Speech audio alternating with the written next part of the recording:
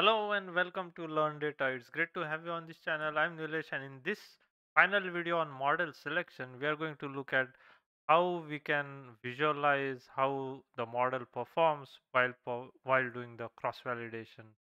So here is a list of items that we'll cover. We'll look at what bias and variance is and then we'll look at how validation curve and learning curve can help us visualize how the training is going on. So probably familiar with these terms by now. High bias and high variance. What does it mean?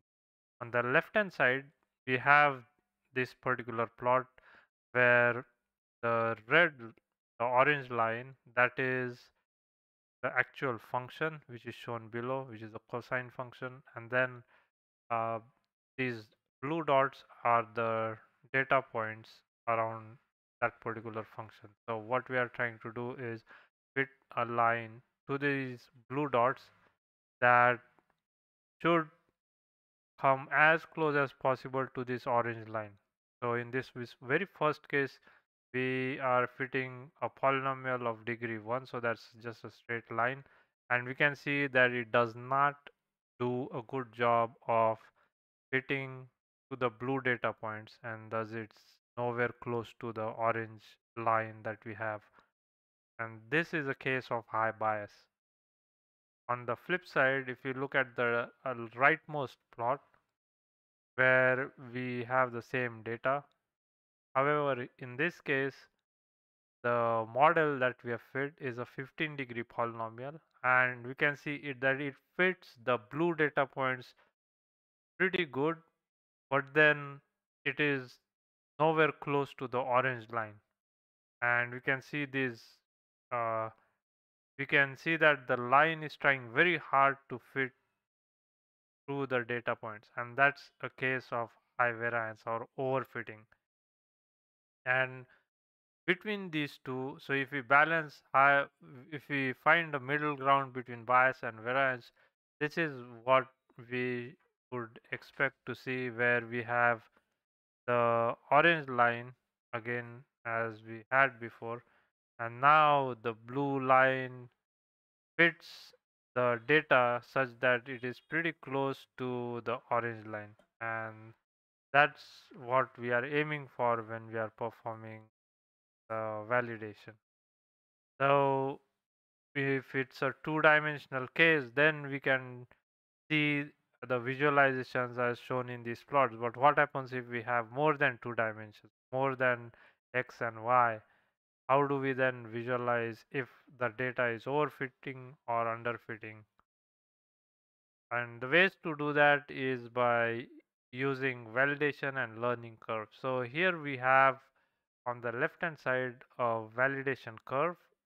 The classifier is svm and what validation curves can be used for is uh, we can change one hyperparameter and then see how the score varies. So here we have the parameter gamma that we are varying on the x-axis and accordingly we can visualize how the score varies. So as you can see down here as the orange line is the training score and the blue line is the cross validation score. So as the value of the parameter gamma continues to increase, we can see that the cross validation score is uh, along is pretty close to what the training score is. However, beyond a certain value of gamma, uh, the validation score starts to drop. And that tells us that we need to be somewhere in this region to get as high score as possible on the validation set. And values greater than this are not uh, not any good to generalize the model. So what's happening in this part of the uh, curve is that the training score is increasing and it's probably because the model is overfitting on the trained data and it is therefore not able to generalize well on the validation set and therefore the uh, accuracy or the score is dropping considerably. And here we have this table that shows the scenario where a low training score and a low validation score, such as shown here, is probably a sign of underfitting. A high validation, high training score and a low validation score, such as shown on the right side of this curve, is a case of overfitting. And you won't see a case where the training score is low and the validation score is high. So that's uh, not possible, and that's according to the docs. Now, the implementation to get the values to plot using for a validation curve can be uh, by this particular method. We have validation underscore curve, and so there is a typo here. This should be validation curve, and we can pass in the classifier, the data, x and uh, features and the target. Then we have these parameters that we can set. We can specify the number of uh, CV folds and thus in the output we get the train scores and the validation scores. So those we can plot as shown here. And this plot is from the doc. So if you look at the code, you could play with different classifiers on your model and see how that how the plots look like. Now moving on, let's look at learning curves. So what learning curves again help us do is find out how the training and validation scores are doing, how the model is doing. And this is by looking at adding more data or adding more training samples to the training process. Uh, here we have two plots. The one on the left is the naive Bayes uh, classifier and on the right hand side we have support vector machine. Now in these two plots we can see on the left hand side as the number of samples uh, are added as the number of samples on which the training is done increases the training score starts to drop and the validation score tries, uh, starts to increase.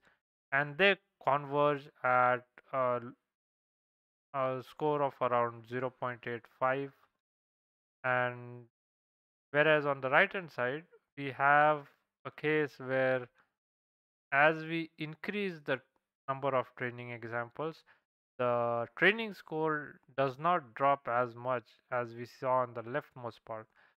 And while that is the case the validation score does seem does increase continue to increase. And that's a sign where uh, if you that's a sign where you can add more data to the train set to uh, increase the accuracy of the model.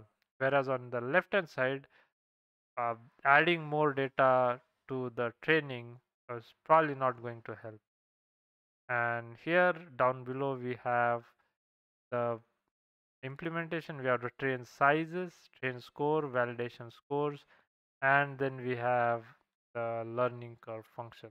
So we have a classifier and then we have the data and then the sizes that are specified here. And that's the C uh, number of CV folds. So that's how you can use validation curve and learning curves to visualize how the train and validation sets are how the model is performing on the train set and the validation during the training process and it it it can be also used to of visualize how a parameter hyperparameter can influence the score of a particular model as we saw in this particular part. So that was it for this video and uh, this completes the model selection part of uh, the scikit-learn.